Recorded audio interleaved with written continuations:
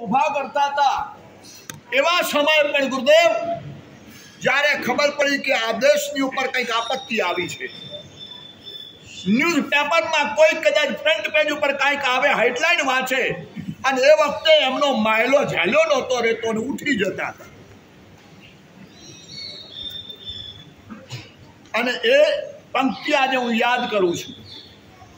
એ પંક્તિ મારા ગુરુદેવ ઘણી વખત ગાતા હતા અને સૌની પાસે ગવડાવતા હતા અને કહેતા હતા કે ભાઈ, આપણે કાંઈ કરવું પડશે. લીમડા હેઠે ઢોળીઓ ઢાળી. ગામની ચિંતા ગોંદરે મેલી. સૌ બધી ચિંતાઓ બાજુ પર મૂકીને આરામથી સૂતા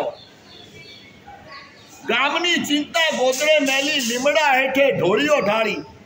સૌ સૂતા હોય એમ કા લાગે એટલે આ ભાઈ જ્યારે રાષ્ટ્ર ભડકે મળી રહ્યું છે.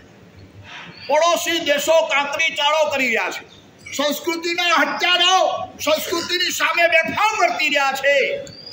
ધર્મની સામે કોક અધર્મીઓ ગમે તેવા ચંચળા કરી રહ્યા છે.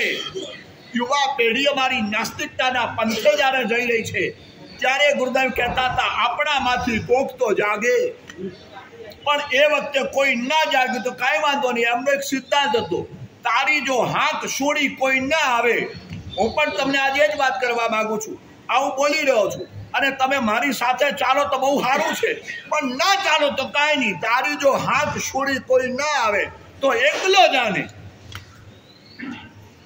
તમે સૈનિકો તરીકે તૈયાર છો, મારે તમને પૂછવું છે. હે ભાઈ, સૈનિકો તરીકે તમે તૈયાર હરીશ તો ખરો. મારે એને સૌથી પહેલા મારી રાઈટ હેન્ડ બનાવવો પડે. કારણ કે આનો જુસ્સો જોરદાર છે.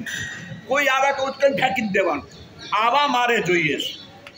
મારે જેવા તેવા રેંગા પેંગા નથી જોઈતા.